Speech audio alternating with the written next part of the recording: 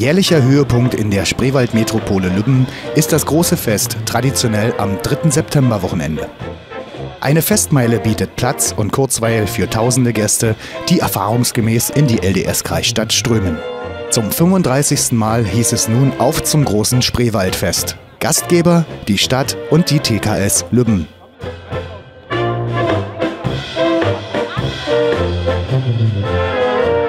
Der Freitag gehörte wie in jedem Jahr den Chören in der Paul-Gerhardt-Kirche zur musikalischen Einstimmung auf das Festwochenende. Diskomusik und ein Nachtwächterrundgang komplettierten das Angebot.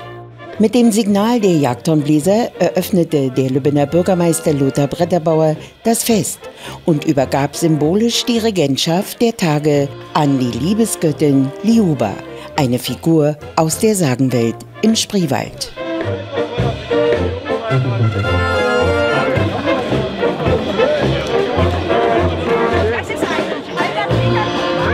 Der Marktplatz war Spreewald-typischem Flair gewidmet. Das spiegelten die Marktstände und die Bühnenprogramme in kompakter Weise wider.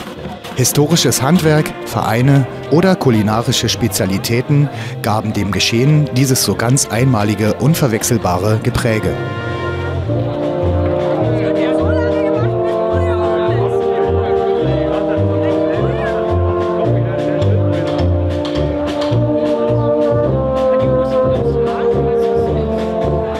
Spreewälder Originalen begegneten die zahlreichen Gäste überall. Stadtführerin Marga Morgenstern war eine von ihnen.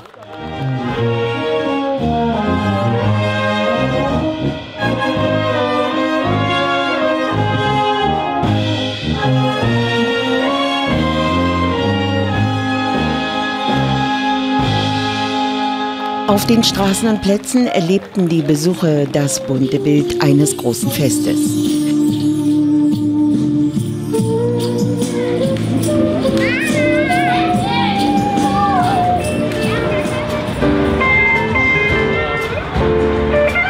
Bühne in der breiten Straße bediente ganz unterschiedliche Musikrichtungen und fand natürlich auch ihr Publikum. Beschaulich präsentierte sich die Schlossinsel. Bis 1998 führte diese heutige grüne Oase ein trauriges Dasein als unbefestigter Parkplatz und Brachland. Die rund sechs Hektar verwandelten sich fortan in ein touristisches Zentrum mit Wanderwegen, Wasserspielplatz, Kahnfährhafen und Veranstaltungsareal der berühmten Lübbener Kahnnächte.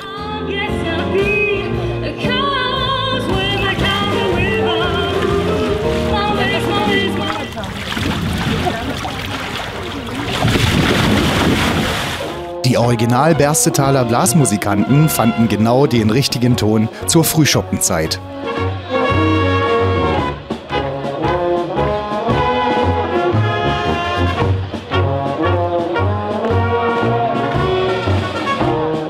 Ein wahrer Augenschmaus und Stimmungsgarant der Schlagzeuger.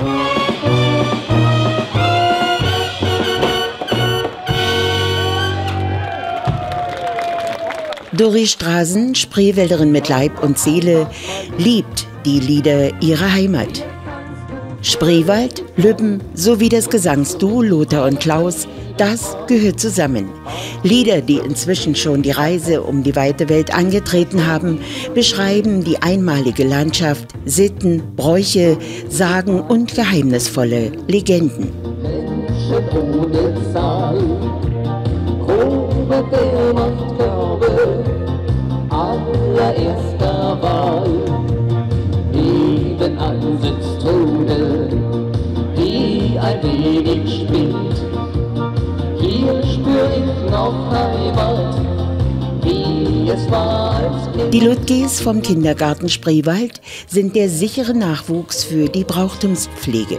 Sie besangen vom kurzen Regenschauer unbeeindruckt die Spreewaldgurke oder auch den Puschochsen, den eigentlich noch niemand gesehen hat.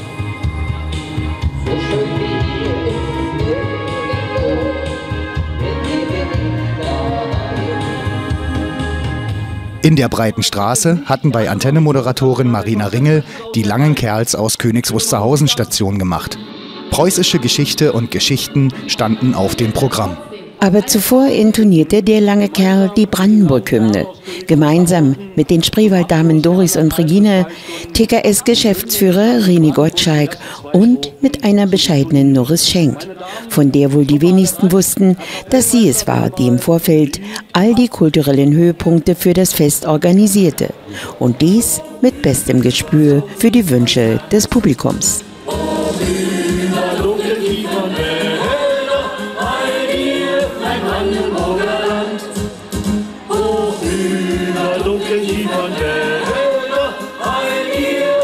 Eine haben wir noch. Uralte Eichen, dunkler Buchenein. In den Laufzonen dichtes Gedränge. Manchmal brauchte es Geduld, um gerade das ausgewählte Ziel zu erreichen. Auch das ist eben Bestandteil des Spreewaldfestes.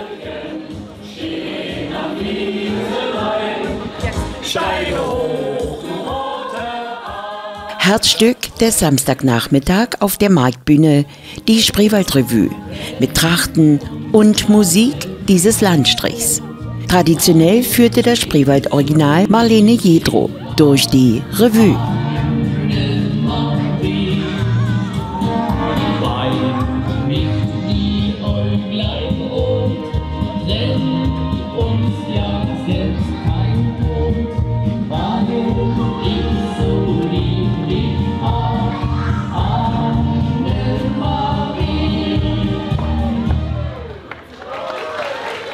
Was am Samstag mit dem musikalischen Höhenfeuerwerk seinen Ausklang fand, erfuhr seine schwungvolle Fortsetzung am Sonntag im gesamten Festareal.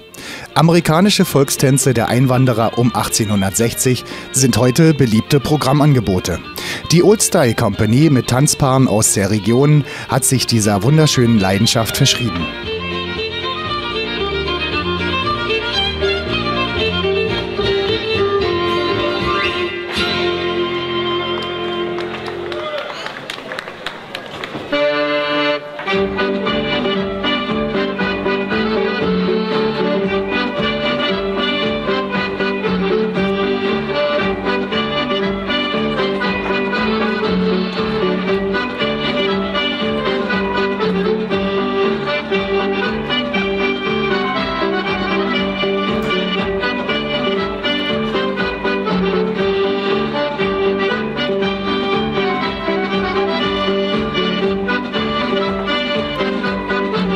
Unschlagbarer und unverzichtbarer Höhepunkt der sonntägliche Kahnkorso.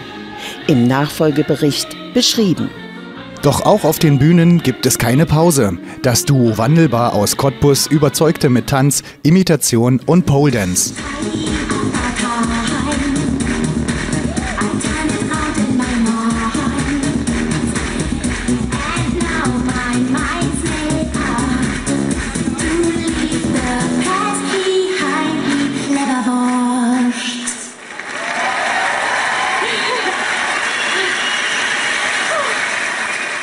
Auf der Marktbühne hatte indes die Abschlussvorstellung mit den grandiosen Schmorgurken aus Lübben begonnen. Der Name ist Programm. Man kann sie nicht beschreiben, man muss sie erleben. Mit ihrem feinsinnigen Humor und ihrer großartigen Musikalität.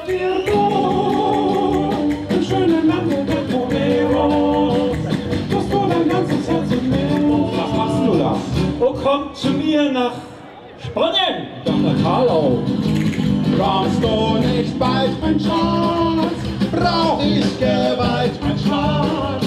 Ich mach dich kalt, mein Schatz.